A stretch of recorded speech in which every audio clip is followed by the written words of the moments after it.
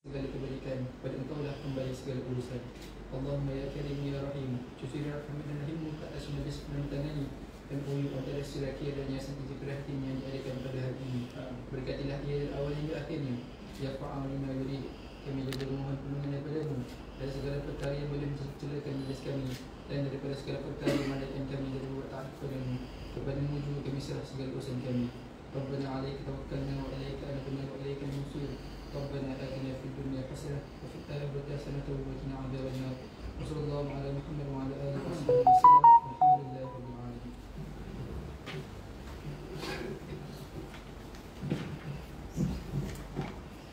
Alhamdulillah, saya sudah baca doa sebentar tadi. Uh, seterusnya majlis berjemput um, pengurusi Sirakel Puan Siti Sakinah binti Omar Baki untuk menyampaikan sepatah dua kata dipersilakan.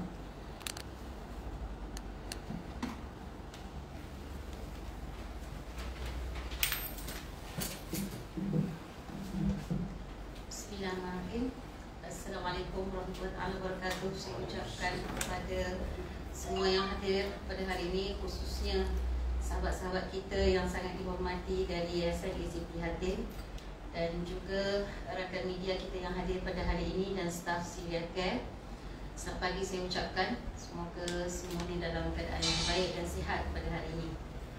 Um, Kami di Syria Care rasa sangat gembira, teruja uh, dengan kebersamaan uh, pihak Yayasan Isi Prihatin uh, bersama kami dalam melaksanakan bantuan musim sejuk buat kali yang ke-10 pada tahun ini. Izinkan saya uh, memetik sepotong ayat Al-Quran Auzubillah minasyaitanirrajim. Subhanalladzi asra bi'abdihi layla minal masjidil harami ilal masjidil aqsa alladzi barakna hawlahu linuriyahu min ayatina innahu huwas samiul basir surah al-isra ayat yang ayat pertama Suci Allah yang telah memperjalankan hamba-Nya iaitu Nabi Muhammad sallallahu alaihi wasallam pada malam hari dari Masjidil Haram ke Masjidil Aqsa yang telah kami berkati sekelilingnya agar kami memperlihatkan kepadanya sebahagian tanda-tanda kebesaran kami. Sesungguhnya dia maha mendengar lagi maha melihat. Subhanallah Ketika mana Nabi dibawa dari kota Mekah ke Masjidil Aqsa Dan Masjidil Aqsa pada hari ini berada di bumi Palestin Kita dalam uh, pengajian uh, geografi contohnya di sekolah Kita tak jumpa perkataan bumi Syam Tak ada dalam pengajian kita Baik di sekolah maupun di peringkat universiti Kalau dalam bahagian geografi Kat mana bumi Syam ni sebenarnya? Kerana apa? Kerana bumi Syam yang telah disebut di dalam Al-Quran dan bumi Syam yang mana Allah telah uh, Nabi Muhammad SAW telah sebutkan dalam banyak hadis pada hari ini telah pun dipecah-pecahkan kepada empat negara yang berbeza kerana penjajahan yang berlaku ke atas mereka oleh pihak Inggeris, pihak uh, Span, Span, Spanyol, Spanyol betul ya? Spain, uh, juga Perancis dan lain-lain. Jadi bumi Syam yang ada, yang asalnya bumi Syam itu sekarang terbagi kepada Jordan, uh, Lebanon, uh, Syria dan juga Palestin. Dan sebahagian besar dari bumi Syam itu sekarang adalah bumi Syria. Dan bumi Syria pada waktu ini kita lihat sedang diinjak-injak oleh pihak musuh diperlakukan ikut suka mereka semua orang ingin mengambil sebahagian daripada bumi Syam itu sendiri. Rasulullah sallallahu alaihi wasallam pernah bersabda bahawa para malaikat melebarkan sayap-sayapnya di atas bumi Syam. Ini hadis riwayat Tirmizi. Dan dari pada Abdullah ibnu Amr radhiyallahu anhu dia berkata Rasulullah sallallahu alaihi wasallam bersabda ini raaitu كأن عمود الكتاب انتزع من تحت وسادتي فأتبعته بصري فإذا هو نور ساطع عمد به إلى الشام ألا وإن ألا وإن الإيمان إذا وقعت الفتن بالشام Sesungguhnya aku bermimpi dan mimpi para nabi itu benar seakan-akan tonggak Alkitab telah tercabut dari bawah bantalku dan maksud Alkitab di situ adalah agama, ad-din sendiri ya, secara majazinya. Maka aku melihat mengikuti arah perginya itu dengan penglihatanku. Maksudnya nampak seolah-olah agama itu dibawa ke satu arah. Tiba-tiba muncul cahaya yang terang menderang menghala ke Syam. Ketahuilah, sesungguhnya iman pada saat terjadinya fitnah berada di Syam. Hadis uh, riwayat Al-Muziri dalam At-Targhib wa Tarhib dan dinilai sahih oleh Syekh Al-Albani.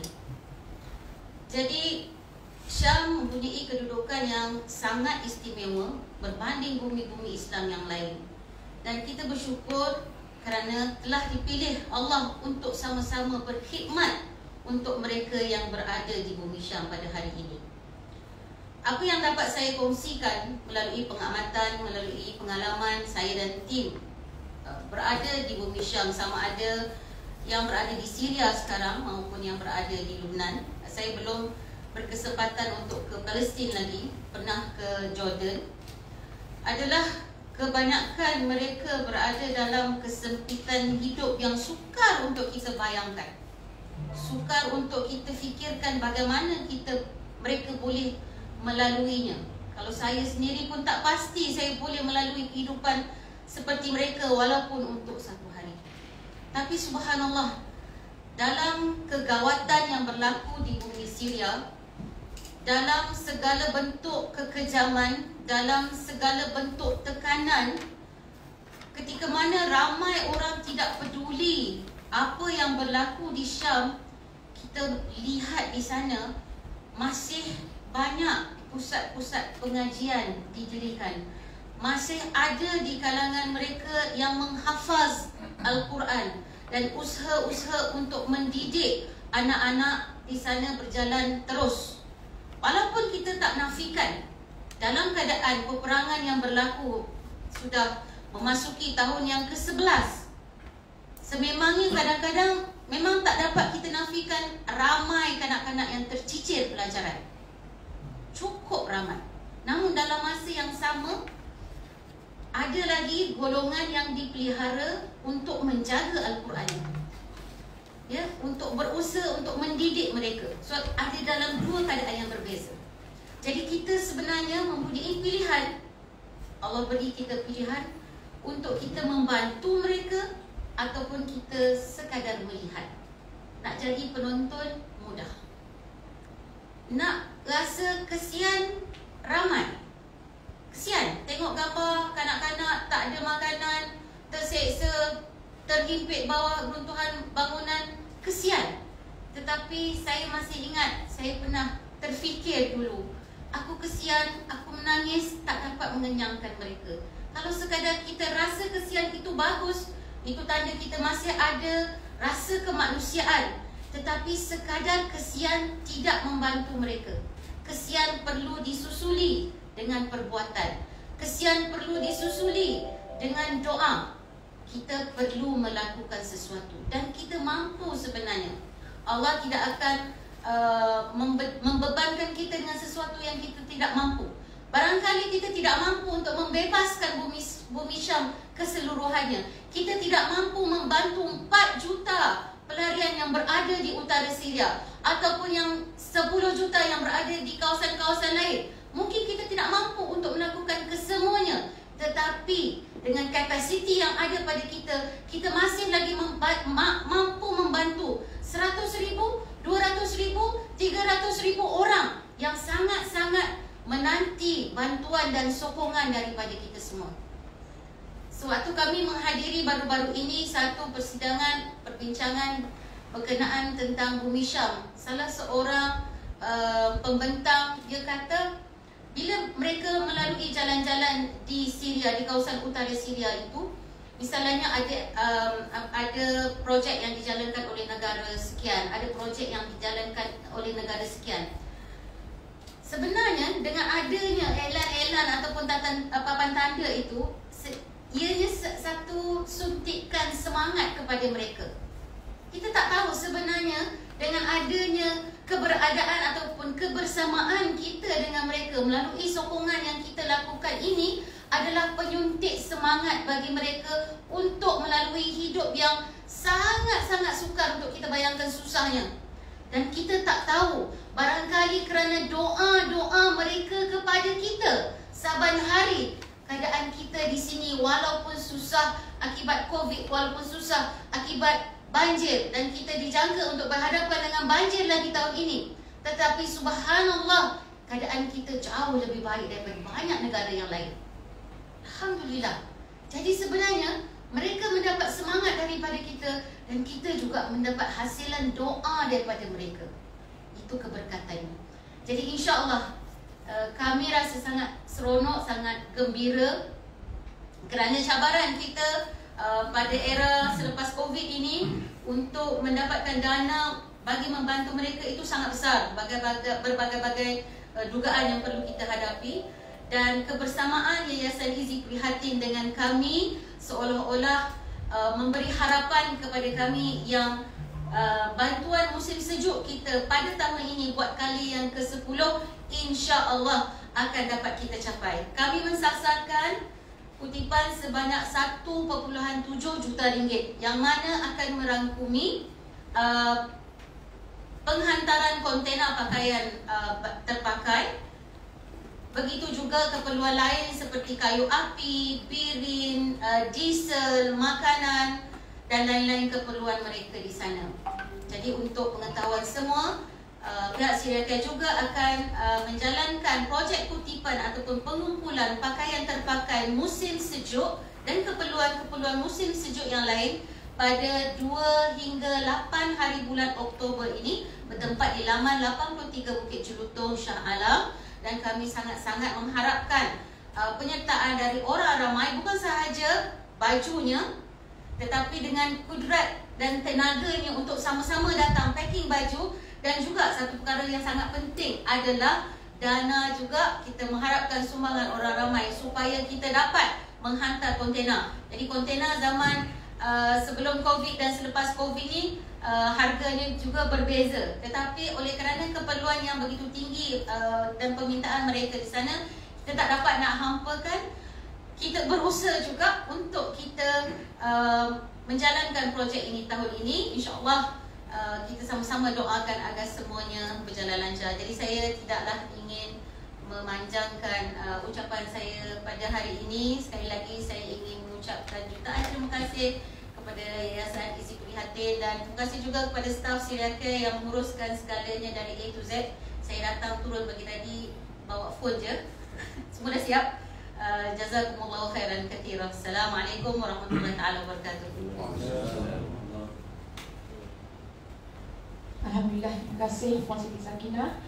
Seterusnya masih menjemput uh, pengurus operasi uh, Yayasan Izin Perhatian Tuan Muhammad Sulfatli bin Muhammad Zain untuk memberikan sepatah duka di persidangan.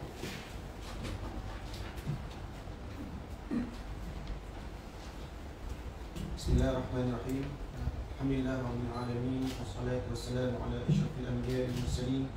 Sayyidina Muhammad wa ala alihi wa sahbihi ajma'in. Amma yang saya hormati Puan Siti Sakinah binti Nur Umar Baki CEO Sirake Alhamdulillah ucapan yang sangat memberi inspirasi. Jadi saya kira memberi semangat untuk kita semua pada pagi ini.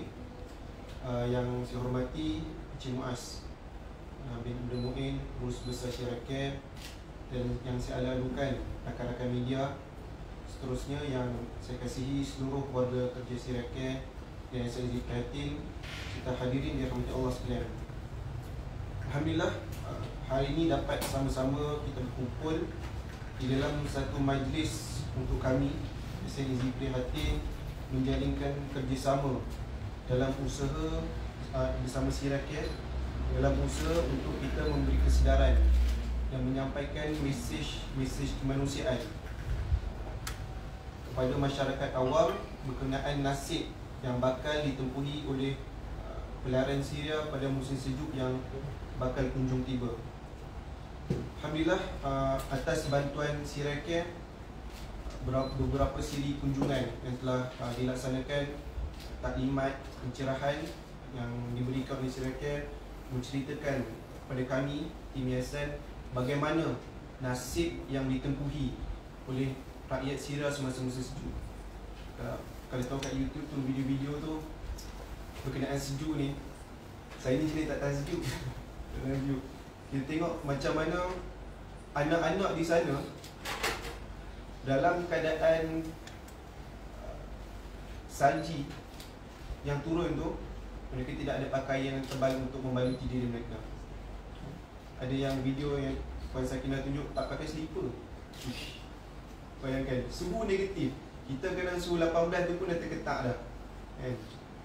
Itulah realiti yang berlaku di Syria.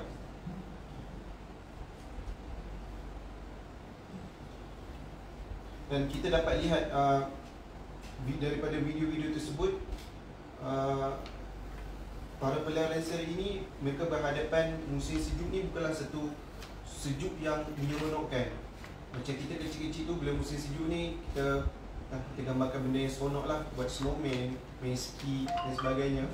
Tapi sejuk yang di, ditempuhi oleh rakyat Syria ini satu sejuk yang sekiranya tidak dibantu mungkin boleh berlaku kematian. Alhamdulillah Ghazali itulah realiti yang berlaku uh, di sana. Tapi mereka tiada pilihan. Hadirin dirahmati Allah sekalian uh, yang bakal ditempuhi yang bakal menempuhi situasi ini adalah saudara kita saudara seagama kita saudara seakidah kita. Justru kita tanyakan pada diri kita eh, Pada hari ini Apa usaha yang mampu kita lakukan Dan apa bantuan yang mampu kita hulurkan. Dengan kami di SXZ Perhatian Dengan membawa moto kebajikan tanpa sepadan Selaya upaya untuk memberikan yang terbaik Dalam usaha untuk menjayakan Kempen bantuan musim sejuk Warm Year Winter Kali ke-10 yang uh, kita telah laksanakan. Uh, mudah-mudahan melalui wadah kempen ini menjadi, dapat menjadi satu bukti lah bukti usaha kita bersama Yayasan Gizi Prihatin dan Sirake untuk membantu saudara-saudara kita di Syria. Sebelum saya mengakhiri saya punya ucapan pada pagi ini, suka untuk saya ingatkan um, sepotong ayat Quran daripada surah Al-Zalzalah ayat 7. Allah berfirman, "Faman ya'mal mithqala dzarratin syarran yarah." Maka setiap kebajikan yang kita buat itu walaupun sebesar zarah ianya tetap ada nilai di sisi Allah SWT yang mudah-mudahan kempen yang kita gerakkan bersama ini dapat uh, mencapai matlamat dan keredaan Allah SWT insyaAllah. Jazakallahu khairan kasira terima kasih kepada semua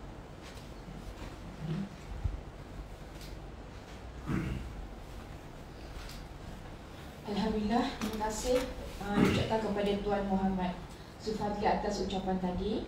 Majlis seterusnya uh, diteruskan dengan mempersembahkan tayangan multimedia Sedekat Delita Syria seterusnya video pelancaran bantuan musim sejuk siri ke-10. Persilakan.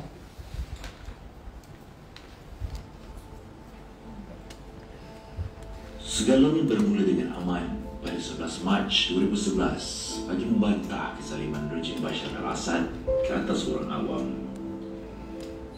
Semangat Arab Spring di beberapa negara jiran yang berjaya menumpangkan pemimpin diktator menjadi penyemarak rakyat Syria untuk mendesak dinasti al-Assad supaya mengembalikan hak mereka yang selama ini ditindas.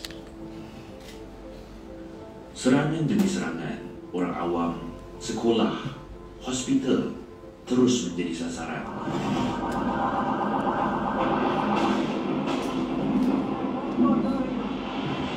قد أسقط علينا الطيران صاروخ على منزلي وهدمه جميعه واستشهدت أمي وأصيب والدي. وأيضا أصبت أنا. هاتي هاتي هاتي هاتي هاتي هاتي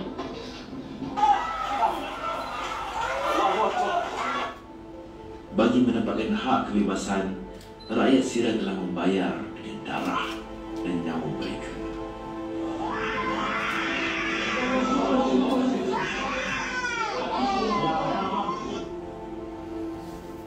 Berdasarkan laporan Syrian Observatory for Human Rights SOHR sehingga Mac 2020 lebih 586 ribu nyawa telah melayang. Sama tahun dari apa yang berubah, sebaliknya derita yang bertambah. Kini selepas 10 tahun, tiada petanda sebab penyelesaian dicapai untuk mengembalikan semula proses keamanan di negara itu. Hingga ke saat ini, ramai yang bercari-cari tempat selamat untuk berteduh walaupun terpaksa berlindung di celah-celah pohon zaitun. Setelah sekian lama dengan malapetaka akibat peperangan, ia memberi kesan kepada emosi dan mental. Konflik yang tiada kesudahan memusnahkan semua aspek yang ada di Syria dan yang paling terjejas adalah institusi keluarga dan pendidikan. Ramai yang menjadi balu dan terpaksa meneruskan hidup sebagai ketua keluarga tanpa sumber pendapatan. Kanak-kanak dan remaja pula tidak lagi mempunyai peluang meneruskan pembelajaran dan pendidikan secara sistematik. Kebanyakan mereka memilih untuk terus bekerja bagi membantu mencari keluarga. Menurut laporan Save the Children, kekacauan akibat perang telah menyebabkan 2.1 juta kanak-kanak tercicir daripada persekolahan. Namun seperti mereka di tempat lain, kanak-kanak ini mempunyai cita-cita dan ingin hidup dalam aman makmur. رغبة الرغبة تأمرني أن أعود إلى علمي أن أعود إلى إلى مدرستي وأن أعود يكون لدي أصدقاء جدد Keperluan tidak pernah cukup, tetapi kita perlu istiqomah untuk memberi peluang hidup yang lebih baik kepada mereka. Bersama Syria Care, kita bantu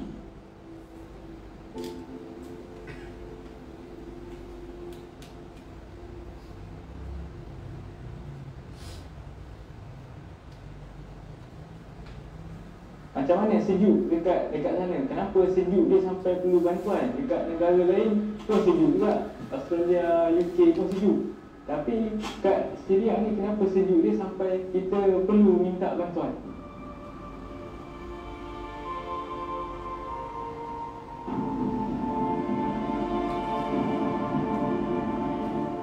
mereka sebenarnya tak banyak pilihan ya mereka sudah berada di sana nak tak nak musim sejuk akan datang juga sama ada mereka bersedia ataupun tidak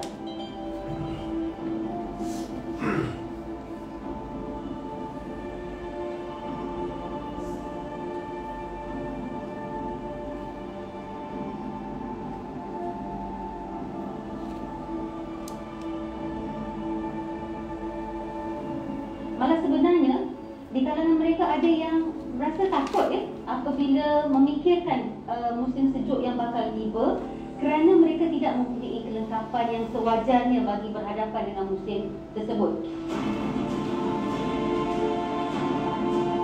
Diorang tak ada keperluan yang macam tu orang pakai. Orang ni macam konflik tapi diorang ni sebaliknya. Even kanak-kanak, diorang pakai macam sweatshirt tu je. Kasut, apatah lagi. Ada yang kaki ayam je dekat lumpur macam tu. Dan ada di kalangan mereka yang tinggal di dalam kemah itu yang diperbuat dari selimut-selimut buruk, daripada kapet, uh, daripada zinc yang berlubang-lubang. Uh, makanan tu memang kita perlu. Tapi yang lagi perlu adalah alat pemanas. Kita lapar kita boleh tahan uh, sikit lah maksudnya. Tapi bila kita sejuk memang tak boleh fikir.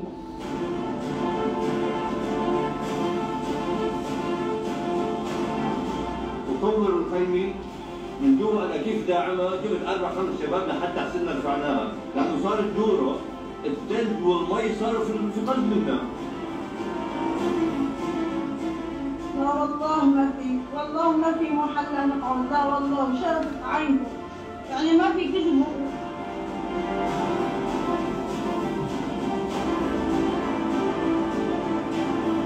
Peranan kita untuk membantu mereka sangat besar. Dan mereka sangat-sangat menanti-nantikan bantuan daripada kita semua bukan untuk mereka bersenang lenang tetapi sekadar untuk menyambung kehidupan. Jadi saya malu untuk sama-sama silakan bantu hangatkan masa sejuk mereka di sini.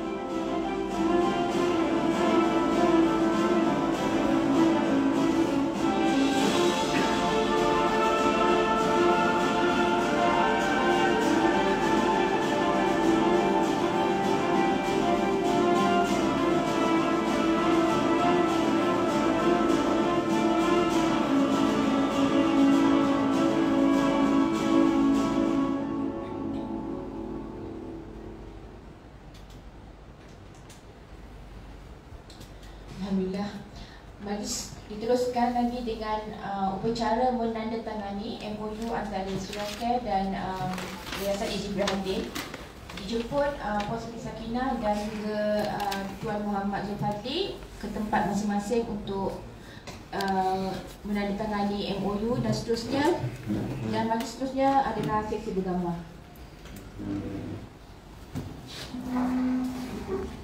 Ini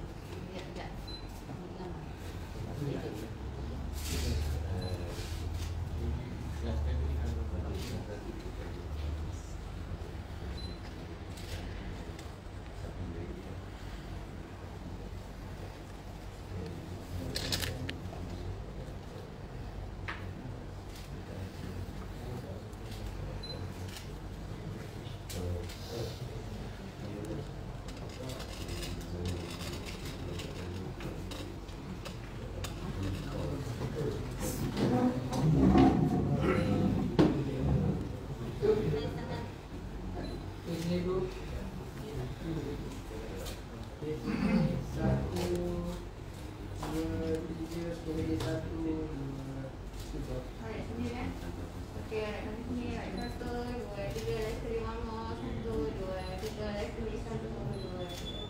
Alright. Nak, buka depan.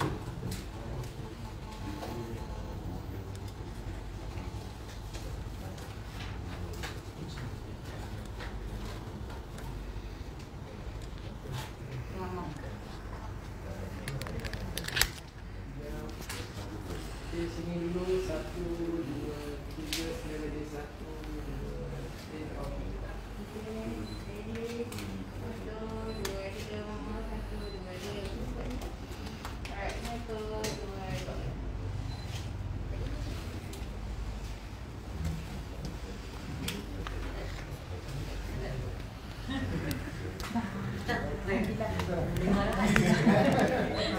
Boleh ke tempat masing-masing.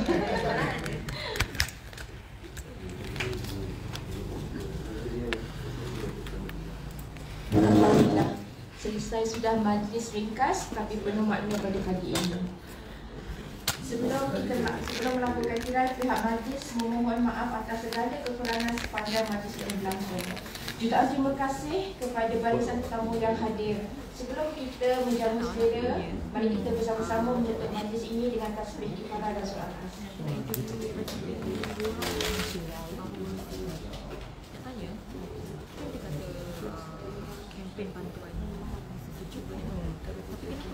uh, sebelum lepas ni kita teruskan dengan sesi gambar lah. Dia Yeah, the, the, the, the, the,